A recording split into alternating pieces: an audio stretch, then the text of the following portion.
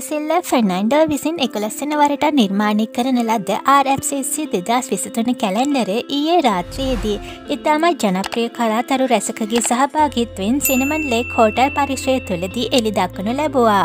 ඉතින් ගොඩක් දෙනෙක්ගේ ආදරේ දිනාගත් ජනප්‍රිය තරුවල ඡායරූප ඇතුළත් මෙම කැලන්ඩරේ ආදරවන්තයින්ගේ මාසය වන පෙබරවාරි මාසය වෙනුවෙන් තෝරාගෙන තියෙන්නේ.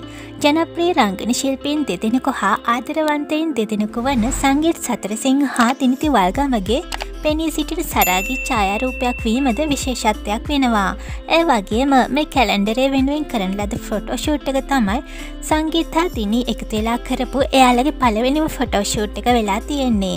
ඒ විතරක් නෙවෙයි රොසෙල්ලා ෆර්නන්ඩෝ විසින් නිර්මාණය කරපු මේ සෙලිබ්‍රේටි කැලන්ඩරේ යුවලක් ලෙස ෆොටෝෂූට් එකක් කරපු එකම යුවල වන්නේද සංගීත්හා තිනී යුවලවීමද විශේෂත්වයක් වෙනවා. ඒ වගේම අවසානයේදී සංගීත්හා තිනී ප්‍රදර්ශනයට තියල තිබුට එයාලගේ සරාගේ ඡායරූප ඇතුළත් පෝස්ටරය ගෙදර අරංගිහිල්ලත් තියෙනවා.